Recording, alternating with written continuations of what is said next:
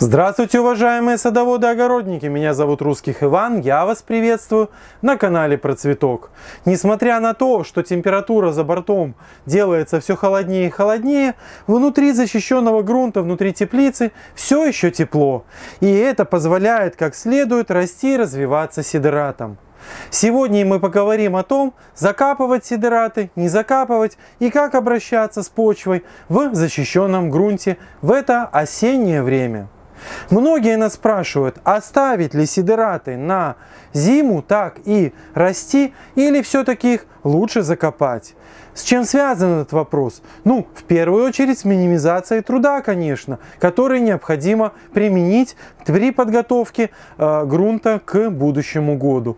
Во-вторых, это связано с тем, что бывают оттепели, бывает не очень сильный мороз, еще температура может позволять продолжать расти этим растениям, и как-то ну не хочется такие молодые красивые растения взять и закопать. Так как же все-таки лучше поступить? В период уже ближе к ноябрю месяцу, конечно, надо постараться эти растения закопать. Почему?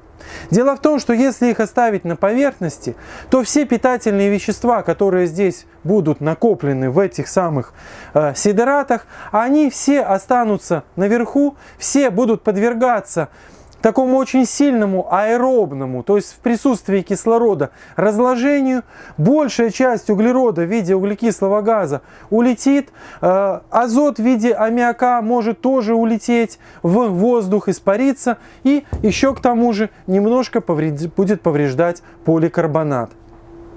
Поэтому для того, чтобы оставить все эти питательные вещества на э, поедание почвенной микрофлоры, той, которая будет находиться в зоне роста корней, лучше всего эти сидораты, конечно же, перекопать как в одном из наших видео я говорил, при этом лучше всего э, переворачивать ком, но не разбивать его, а оставлять такие крупные комы земли, для того, чтобы в течение зимы они могли как следует промерзнуть, в случае, если погода это будет позволять, и э, какое-то значительное количество вредителей, и паутинный клещ, и белокрылка, и подгрызающие совки, и многие другие, не выдержав такого мороза, Просто-напросто все эти личинки или зимующие стадии, э, самки плодные и так далее, они все в этих условиях погибнут.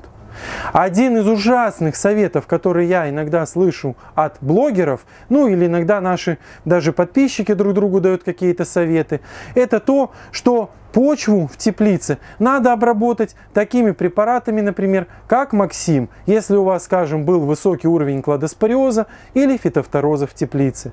Делать это ни в коем случае нельзя.